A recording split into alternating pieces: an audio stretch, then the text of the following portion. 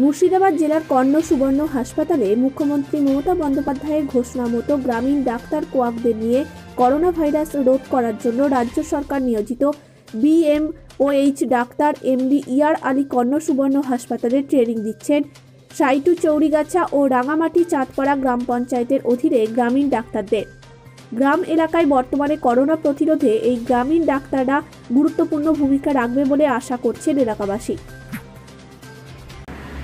সেই ভয়টা ওদের করতে চাইছে তাই তো? হ্যাঁ। আপনার আমি বুঝতে স্যার আমি আমি একটা কথা বলি মাঝে একটা কথা বলি। এটা খুবই প্রকার ভয়ঙ্কর সমস্যা।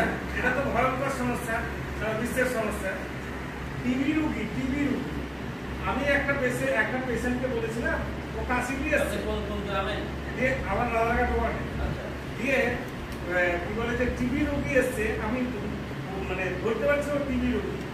তা ওকে আমি বললাম তোমার একটু সন্দেহ সন্দেহ লাগছে তো এবার তোমার একটু টিবির লক্ষণ লাগছে তো আমার ওই জায়গায় মুখ সামলে কথা বলি ওকে আপনি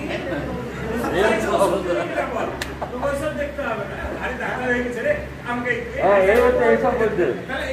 জন্যই একটা হয়েছে